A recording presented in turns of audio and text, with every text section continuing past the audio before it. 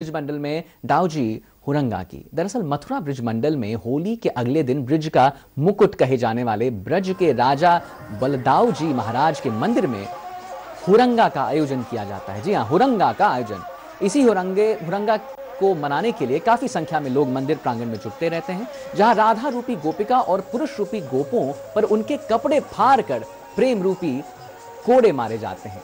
इस देवर भाभी की होली या कपड़े फाड़ होली, इसे ये भी कहा जाता है। आप तस्वीरें देख सकते हैं और अनुमान लगा सकते हैं कि कपड़ा फाड़ होली मना रहे लोगों में कितना उत्साह है। सभी पूरे जोश के साथ हुरंगा मना रहे हैं।